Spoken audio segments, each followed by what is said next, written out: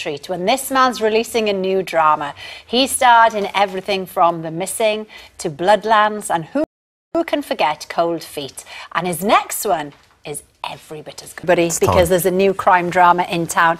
It's gripping with an all-star cast. All right, they're dropping it, Yeah, Ira. I'm all right. Um, led by James Nesbitt, with more twists and turns than Alton Towers. It's an intense psychological whodunit. Let's have a look. Act this. Mm. So you play detective Danny Frater. Yeah. He's called out to go and see a corpse, basically. Turns Yeah, he's, he's asked uh, to do a favour. I mean, he's a kind of a beaten guy. He's you don't really know what's going on with him, but he's so he's got a past. He's well, clearly he's got a past, but also clearly he's just kind of done, you know, and kind of Yeah. lost and hidden, Right. angry, violent, and whatever. So he finds out. He finds at the, the end of the, of the first half hour, he's there as a, as a favour to a friend Yeah. to try and help identify what has been uh, kind of a run of the mill possible suicide from Mm-hmm. an, uh, a non identified person.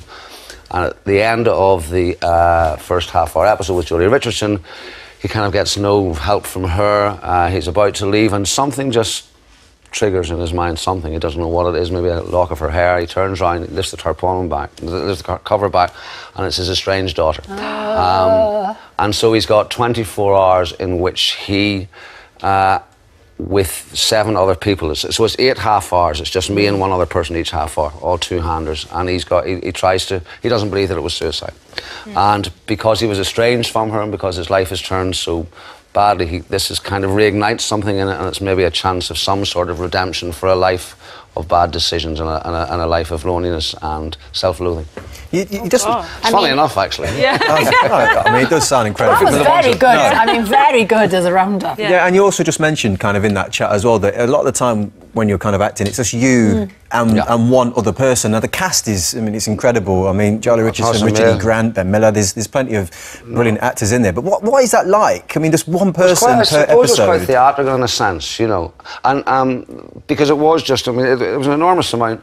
Listen, I never want to kind of give the impression that acting is like working for a living because I mean, you know, I'm very lucky, but I mean, it was certainly you're exercising different muscles because I was just, it was two handers, as I say, you would work out film Monday to Thursday, four days, and then rehearse with the next person on the Friday for next week, and then so it was a constant kind of learning process, um, but really brilliant, and they were incredibly supportive and collaborative. I mean, as you, you mentioned a few of them there, also Niamh Algar, Anne-Marie Duff. Um, I mean, really wonderful cast, and I think they were pretty supportive of me because they, they knew it was, and also I'm quite competitive. They were good. Yeah. All right, you yeah. know, Yeah, yeah. and it sort of makes you um, hopefully Step your sort of game up your game up a wee bit because I mean they were so good, but it was.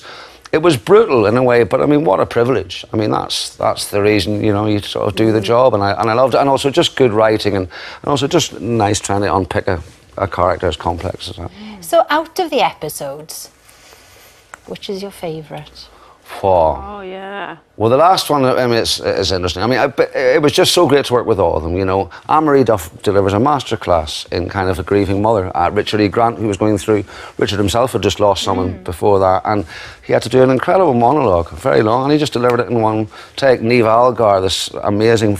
Brilliant, creative bundle of energy from Dublin, who was really, again, like a great director to me. All of them were great, but um, but working with Anne-Marie Duff was really pretty special she's- because that's actually when you know they're they're an estranged couple coming together over the body of their Yeah. daughter, and and and you know you have to tread carefully there. And she taught me a lot and was really authentic. But they were all just believable. So good writing, amazing directing, and, and, and I hope that people. Um, uh, sort of like commit to it because it's um, it's not easy, but No, no, one said it was supposed to be easy. No, I'm sure it will. Sounds absolutely brilliant.